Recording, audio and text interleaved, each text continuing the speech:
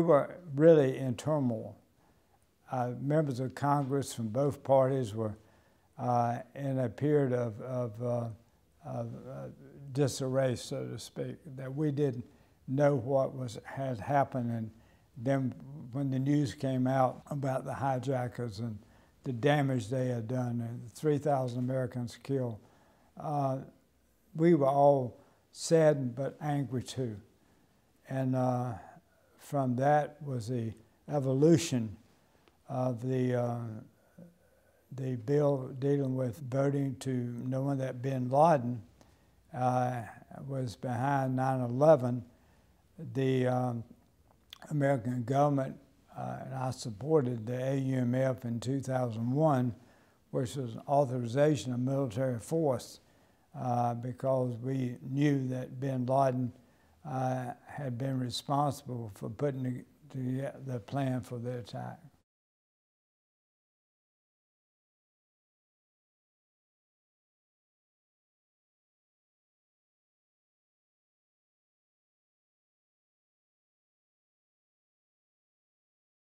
Well, to me, that is a reason that we should have a new debate because there are different groups are evolving all the time around the world. So uh, most of us in both parties would like to have a policy debate on a new AUMF to have the debate and discussion of what you're talking about. Too many times, the lawyers for the administration, whether it be in this case Republican or Democrat, the lawyers always say, well, you have that authority. I don't believe that. I'm not an attorney, but my understanding of the AUMF that we passed in 2001 does not apply to the problems facing the world today.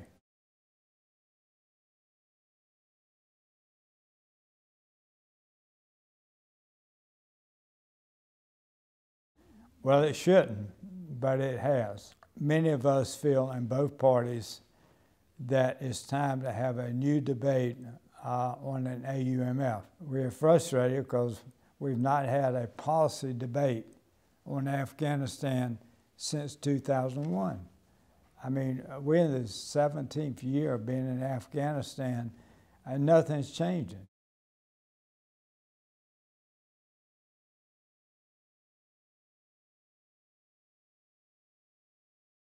Well, I do have Camp Lejeune Marine Base, Cherry Point Marine Air Station, and over 80,000 retired military, with the majority of the 80,000 being Marines. To me, uh, as you've seen when you came in, I have over 500 faces of Marines from my district who have been killed in Afghanistan and Iraq with their names and their ages. And uh, for me personally, as well as the people I represent, I believe in having a strong military. I just think we've had a failed policy for the last 15 years.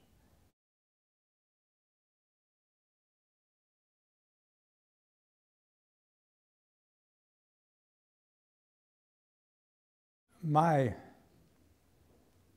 genesis uh, of my position now came from my mistake of going into Iraq.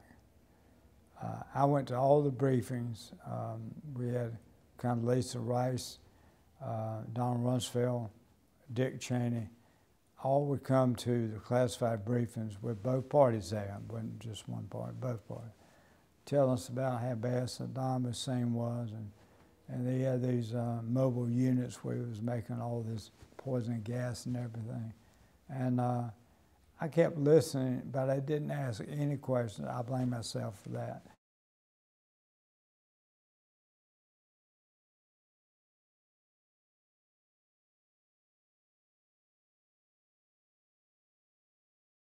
I think that uh, any president, uh, in that case Obama, is making a mistake when they bypass Congress.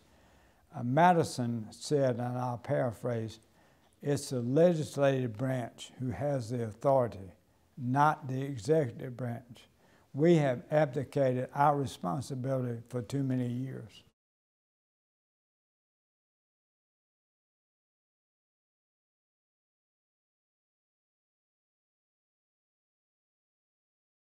Well, um, let me give this answer. Uh, when we pass appropriations bills, for the military, since I've been in Congress 23 years, I've never seen one defeated.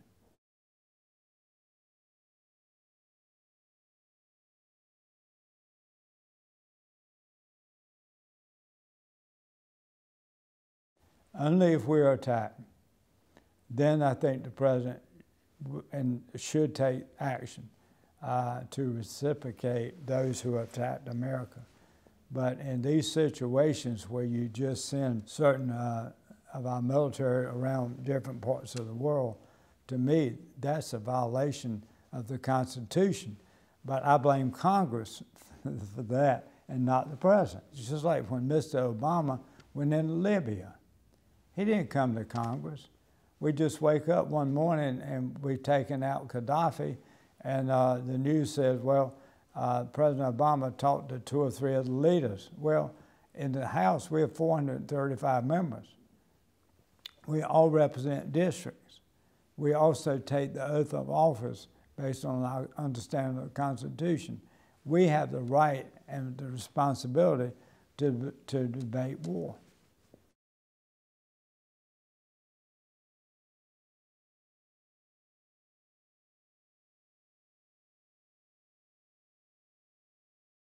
We've introduced a resolution saying that the President of the United States, this could be any president, uh, if they decide to send troops anywhere in the world uh, without the authority of Congress, they can be impeached.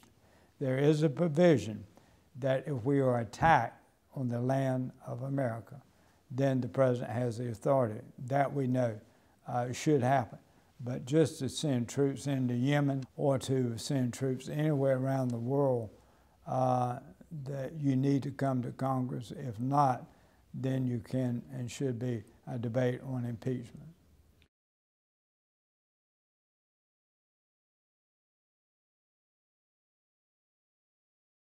Well, uh, we, we cannot, uh, we can't get a debate what happens, and this is a good example, uh, when the appropriations bills come to the floor of the House dealing with our military, uh, the Rules Committee, which is controlled by the Speaker of the House, in this case, the Republican, Paul Ryan, they approve the amendments.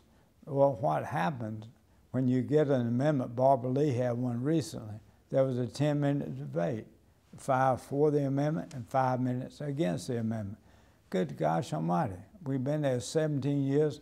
We spent close to a trillion dollars. 2,400 Americans have died, 20,000 wounded, and all they get is 10 minutes. That's a sad commentary on our Constitution.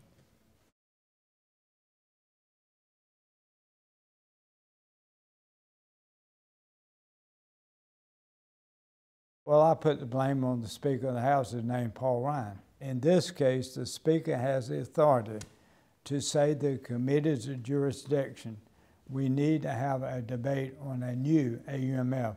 The world has changed in a multitude of ways since 2001. Uh, I'm a Republican. I work across the aisle with Jim McGovern, Barbara Lee, and several others. We're trying to get the Speaker of the House, who has the authority, uh, to let us have a debate on a new policy debate on Afghanistan, and he will not authorize it. I've been part of 13 letters uh, from other members of Congress and both parties who've signed letters to Ryan asking for a new debate. To this day, in this interview, we've not had a new policy debate on Afghanistan.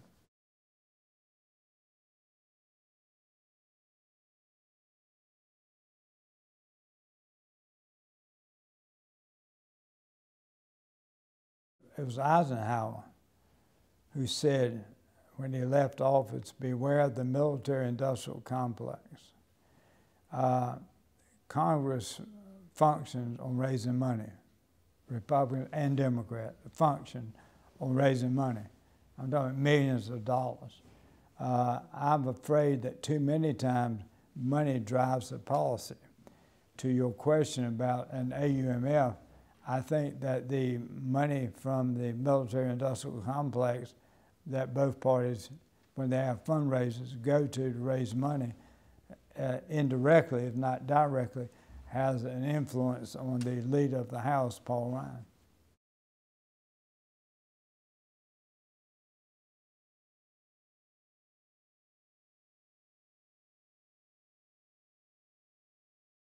Sometimes I think Congress is in a coma, uh, especially when it comes to war and committing our troops around the world. You know, it's one of those things you'd like to just wake them up and say, you have a responsibility. It's a con uh, constitutional responsibility to debate and, and discuss and vote for war if you want to go to war.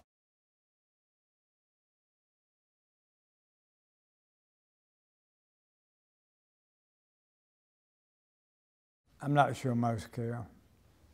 Uh, I can name you, I've already mentioned a figure, uh, probably 30, 35 uh, Democrats and uh, probably 20 uh, Republicans will always vote the same on war issues. That's 55 out of 435. It, it takes the American people. That's why I was so glad to, to be on your interview. The American people have got to understand that if they want to change a policy, in this case we're talking about war policy uh, or foreign policy, they've got to be involved. You can't trust this system up here. It's not worthy to be trusted.